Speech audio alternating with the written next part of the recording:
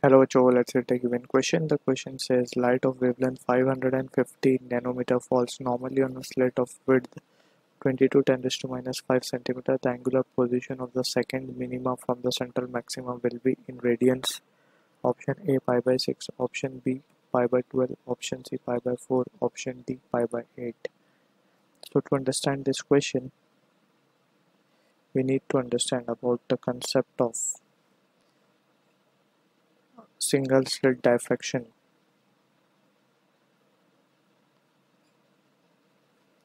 so single slit diffraction में uh, that is basically Fraunhofer diffraction uh, we are talking about so यहाँ पे हमने conditions पढ़ी about secondary minimas की जो condition हमने पढ़ी है वो है a sin theta n is equals to integral multiple of lambda ठीक है मिनिमास की कंडीशन ये होती है सेकेंडरी मैक्सिमास की कंडीशन की अगर हम बात करें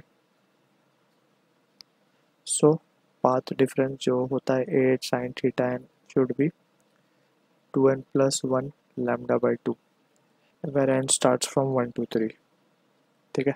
सो so, इस तरीके से वी नीड टू अंडरस्टैंड यहाँ पे मैक्सिमम और मिनिमम की कंडीशन हमें याद रखनी है। ए होता है स्लेट की विड्थ ठीक है?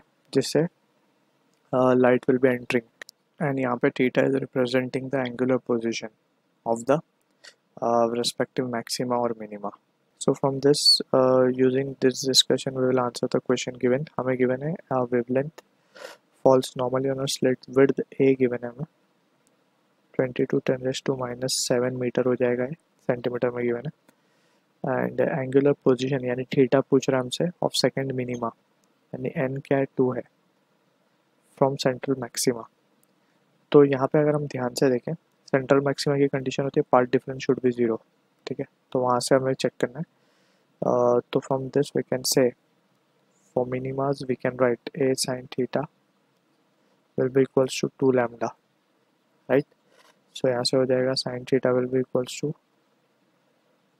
two lambda upon a तो जस्ट हमें वैल्यू सब्सटीट्यूट करनी होगी लैमडा गिवन है 550 nanometre 10 raised to minus 9 meters divided by a हमें गिवन है?